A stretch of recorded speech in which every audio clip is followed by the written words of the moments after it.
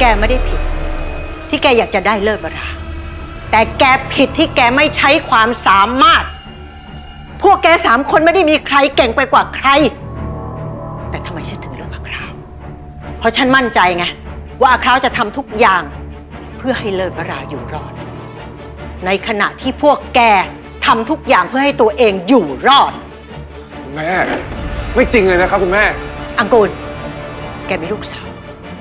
ฉันถามแกหน่อย แกจะยกลูกสาวให้กับคนที่จะดูแลลูกสาวแกได้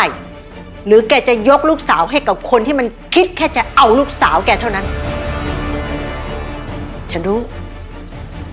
พวกแกทุกคนอยากจะได้เลิกเวลาอยากจะครอบครองอาณาจักรนี้ แต่พวกแกคู่ควรที่จะได้มันหรือยัง